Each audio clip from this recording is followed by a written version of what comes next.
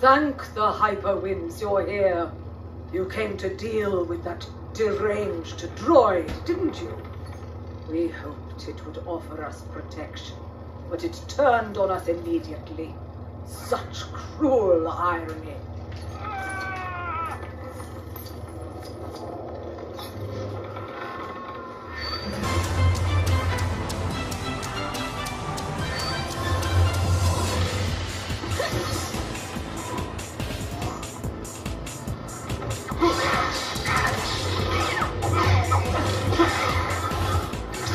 Nothing will stand in my way.